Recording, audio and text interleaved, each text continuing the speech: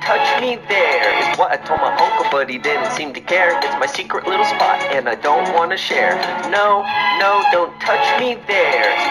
Yo les gars, c'est Miko, aujourd'hui, bienvenue à la Miko Corp, Et aujourd'hui, on est juste de faire top 1 avec Natus. Comment ça va, Natus?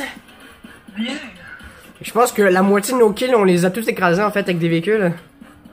Oui. Ah ben mec, t'as fait le kill de la phare, j'aurais pas cru, mais wow. GG. J'ai que ça, tu- regarde-le ton celui là, là. Ah ouais, ben c'est cool hein. Allez, on se voit pour une autre vidéo, allez ciao